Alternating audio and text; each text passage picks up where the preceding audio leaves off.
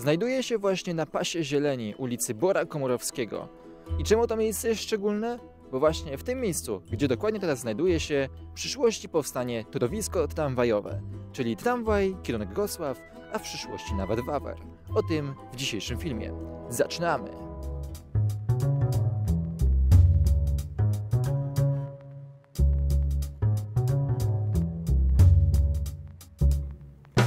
Tramwaj, kierunek Gocław. Witam Was tutaj, cześć i czym Awiznosz. I zapraszam Was już teraz na długo wyczekiwaną przez Was serię Tramwaj, kierunek Gocław. Tak, w końcu nagrałem, w końcu się zmotywowałem i w końcu po ponad dwóch tygodniach od nagrania mogę Wam zaprezentować ten film.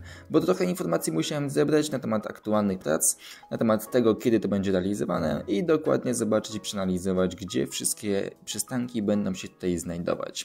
Sam krótki opis tej inwestycji to to, iż będzie obsługiwać 50 tysięcy mieszkańców, przynajmniej w okolicy. Dojazd do centrum z Gocława zajmie 20 minut, tramwaje będą jeździć na tym odcinku co 4 minuty, zaś sama trasa jest długości 3,6 km, 7 przystanków i 2,6 km będzie w postaci zielonego torowiska. Odbywają się już konsultacje społeczne i planowana realizacja jest, no powiem na koniec filmu, bez przesady z tym, że wszystko powiem na początku.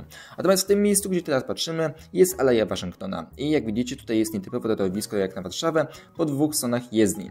I w tym miejscu będą rozjazdy bezpośrednio z każdej strony w kierunku Gocławia. Same torowisko tramwajowe będzie się znajdować po lewej stronie, jak teraz patrzymy, czyli po stronie wschodniej, od kanałku, który znajduje się teraz na środku ekranu.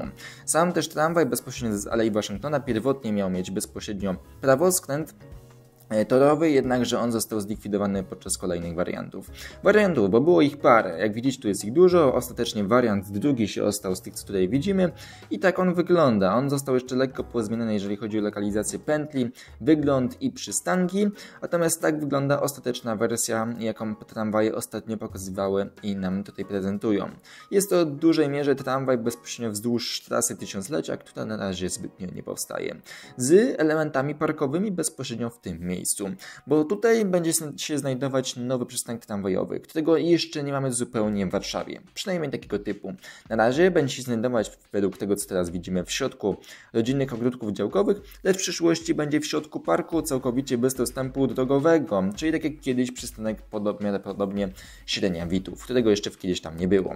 Ale tak, faktycznie to będzie przystanek tramwajowy tylko i wyłącznie otoczony drzewkami, ławkami, parkiem, chodnikami i drogą rowerową, bo wzdłuż prawie całej trasy tramwajowej powstanie droga rowerowa, dzięki czemu rowerzyści będą mogli się poruszać wzdłuż całego torowiska. Samo ujęcie, jak widzicie, w tym miejscu pokazuje na to miejsce po prawej stronie, lecz y, przystanek będzie się znajdować w ogródkach działkowych. Nad kanałkiem będzie oczywiście mostek bezpośrednio do tramwajów i teraz, tak jak lecimy bezpośrednio prosto, wzdłuż właśnie trasy tysiąclecia, która nie powstaje, będzie tramwaj na Gocław. Przejeżdżać nad Aleją Stanów Zjednoczonych, ale nad dlatego, że Aleja Stanów Zjednoczonych będzie na poziomie minus 1. Nadal, jak widzicie, będą po dwa pasy w każdym kierunku, plus bus pas i mm, bezpośrednio zatoczki dla autobusów. Będą też windy bezpośrednio na wszystkie miejsca i wzdłuż torowiska tramwajowego powstanie droga rowerowa przejeżdżająca nad całą Aleją Stanów Zjednoczonych.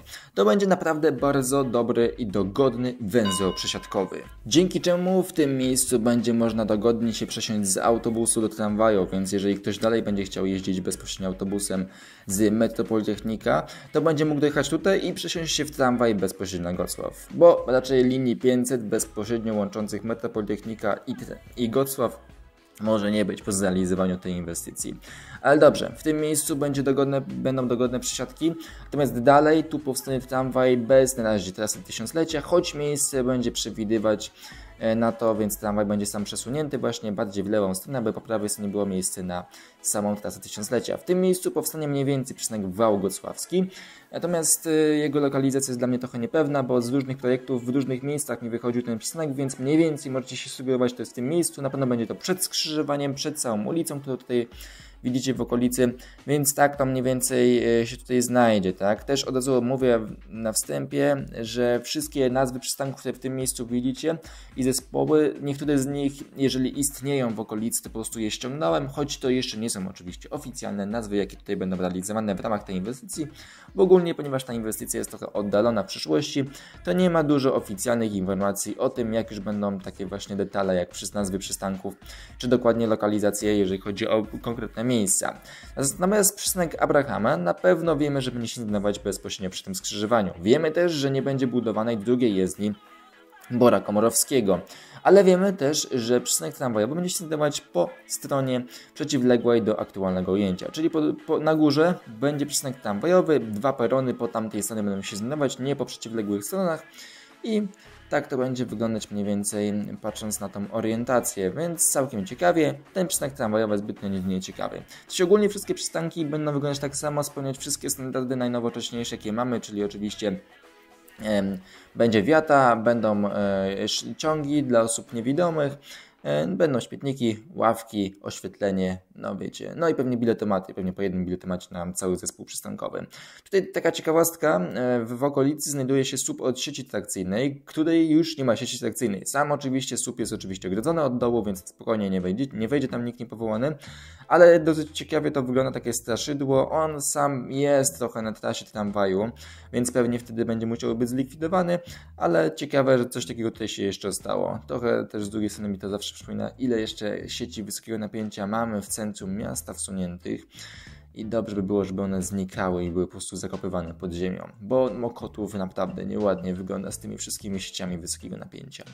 Ale dobrze, rozglądałem się tutaj o kablach wysokiego napięcia, wróćmy jednak do budowy tramwaju na Gocław. Stąd dalej, bezpośrednio po lewej stronie odjezdni, jak teraz patrzymy, będzie się znajdować torowisko tramwajowe. Oczywiście zielone torowisko. Drogi dowódowe będą po jednej i po drugiej stronie jezdni, e, natomiast sam tramwaj tutaj bezpośrednio wjedzie na środek Bora Komorowskiego i na razie przystanek się nazywa Bora Komorowskiego, lecz w przyszłości najprawdopodobniej będzie się nazywać Metro Gocław, bo dokładnie w tym miejscu będzie się znajdować stacja metra, przynajmniej wedle aktualnych zapowiedzi. Trzecia linia metra ma się w tym też miejscu kończyć i tutaj zaczynają się schody, bo ile dwie inwestycje, tramwaj na Gocław i e, metro, trzecia linia metra, mają powstawać w dosyć podobnym czasie, to na razie z aktualnych prac przedprojektowych nie mamy przewidzianej ingerencji i integracji e, tych dwóch inwestycji w siebie. To znaczy, nie będzie wyjść bezpośrednio ze stacji metra do przystanków tramwajowych, które tutaj będą się znajdować. Przystanki tramwajowe będą się znajdować po prawej stronie aktualnego ujęcia. Obydwa perony będą się po tamtej stronie znajdować wedle aktualnych moich planów, których korzystam. A dużo ich nie mam, głównie z Ticomo, mimo wszystko korzystam z wariantu drugi, który został wybrany w konsultacjach społecznych. Natomiast metro będzie w orientacji, tak jak teraz patrzymy, lewo, prawo, pod tą bezpośrednią ulicą. No i jak to będzie wyglądać z tą integracją? Domyślam się, że podczas prac projektowych zostaną zaproponowane wyjścia do przystanków tramwajowych bezpośrednio, a jeżeli mieszkańcy odpowiednio to poprą, to tak jak w różnych miejscach, właśnie na Bemowie, te wyjścia powstaną bezpośrednio do tramwajów, bo na Bemowie też miało pierwotnie nie być przystanków, znaczy wyjść z metra do przystanków tramwajowych, ale jednak mieszkańcy zrealizowali to, przegłosowali i zaprotestowali, aby te przystanki miały wyjście do metra i według mnie to jest dobra zmiana na plus. Dalej tramwaj oczywiście będzie jechać środkiem jezdni i przed skrzyżowaniem jeszcze tym będzie mieć przystanek tramwajowy metro Gocław, a później będzie skręcać po prawej stronie na pętlę tramwajowo-autobusową Gocław. Sama pętla tramwajowo-autobusowa będzie dosyć ciekawa, ponieważ będzie ingerować i łączyć ze sobą dwie części, autobusową i tramwajową, w ramach, z tego co wiemy na razie, wygodnej przesiadki. To co widzicie na tym schemacie to jest taki, bym powiedział, to nie wiem do końca, czy ta pętla będzie tak wyglądać, bo nie mamy żadnych zmian e, od tamtego czasu, kiedy na Sycamore to się pojawiło, a ten projekt może mieć już jakieś nawet 8 lat, więc może się dużo jeszcze zmieniło koncepcji co do tego, tej samej pętli. Czy tak to będzie wyglądać? Nie mówię, że tak, nie mówię, że nie. Natomiast to jest jedyne, co faktycznie znalazłem podczas realizowania tego materiału. Tak będzie mniej więcej wyglądać ta pętla, będą wygodne przesiadki. Domyślam się, że pętla aktualnie która teraz będzie realizowana na Stegny i pętla na Gocław będą dosyć podobnie wyglądać. Ma to umożliwić wygodną przesiadkę do autobusów, które będą stąd jechać dalej w inne miejsca. W inne miejsce oczywiście na oczywisty e, punkt jest to, co widzimy na wprost, czyli na Wawel stąd autobusy mogą dojeżdżać, bądź dalej w kierunku Rembertowa czy Wesołej, ewentualnie w inne miejsca Pragi południe. Jak gdzie autobusy pojadą? Tego oczywiście nie wiem. Też mogą stąd oczywiście pojechać na siekierki, żeby siekierki nie miały dalej tramwaju, ale mogę sobie pojechać autobusem z jednej i z drugiej strony. Tak, bo tramwaj na Siekierki jest dosyć mocno odłożony na razie jeszcze w planach i on będzie realizowany po tramwaju na Goco, bo tramwaj na Siekierki jest w powijakach, w sensie jest na razie tylko w studium, a na żadnej pracy, nawet przedprojektowych, nie, nie ma realizowanych w aktualnym momencie. No i tak to będzie realizowane. A w przyszłości? A w przyszłości tramwaj pojedzie dalej. Przejedzie tą magiczną granicę i wjedzie do Wawra. Tramwaj na Zerzeń. Będzie jechać bezpośrednio wzdłuż tej ulicy, którą tutaj widzicie.